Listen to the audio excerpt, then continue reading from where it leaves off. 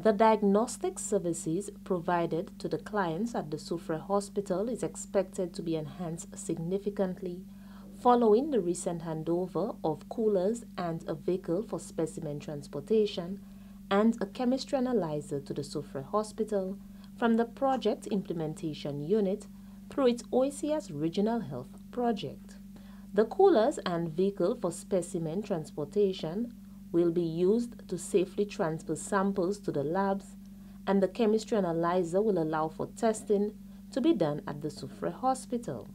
Project Coordinator of the Health System Strengthening Project and the OECS Regional Health Project, Jeanette Hughes, says that she is very pleased that the OECS Regional Health Project can make these items and vehicle available which will play a critical role in the strengthening of the health system and delivery of health services to clients.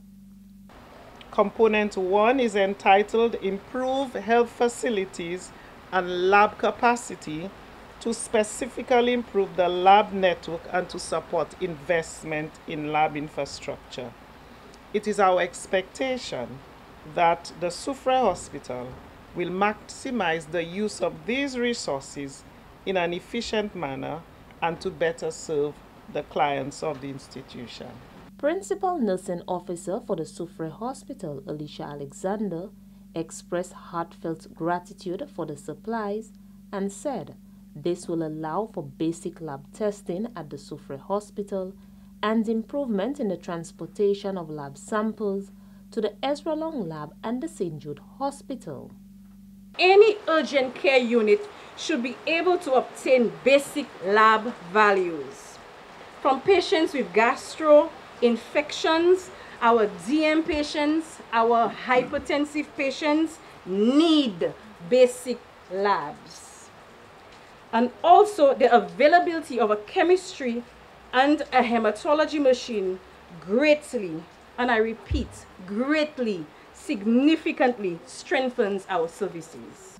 Permanent Secretary in the Ministry of Health, Jenny Daniel, celebrated the support received for the OECS Regional Health Project and says this will allow the ministry to continue on its thrust to improve the quality of care provided in the primary health care setting.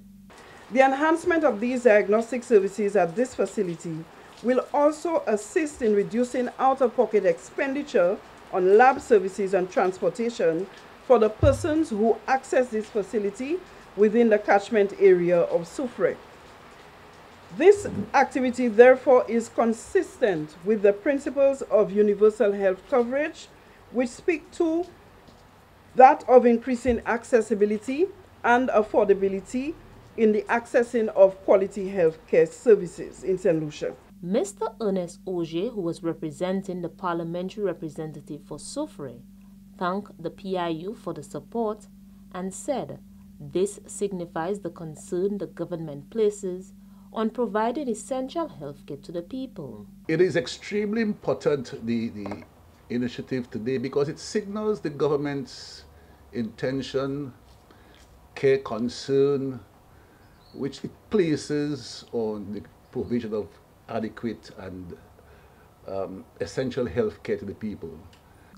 Minister for Health, the Honorable Moses Jean-Baptiste, expressed his gratitude for the handover of items and says this marks a steady and forward movement towards the attainment of universal health coverage.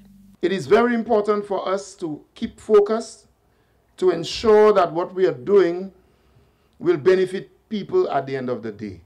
It's important for us to focus on people, the patients, and not only patients, but St. Lucians who are well, and how do we keep St. Lucians and people who access our health services well.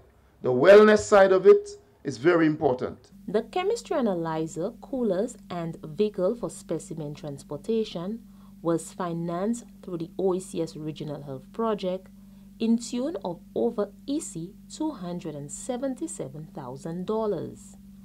Reporting from the Project Implementation Unit within the Ministry of Health, Wellness and Elderly Affairs, I am Fernelle Neptune.